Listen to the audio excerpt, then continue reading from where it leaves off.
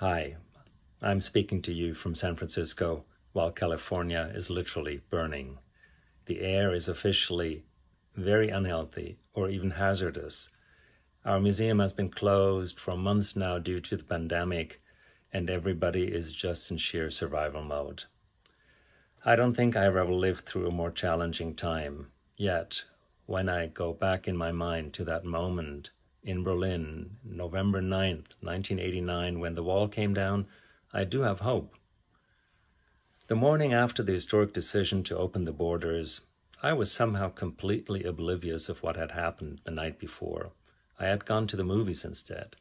But then, on my way to work, I was stuck in traffic, listened to the radio, and decided to skip work.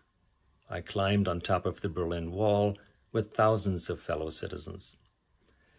I remember almost physically today that moment when people from all walks of life celebrated together for a few days and weeks.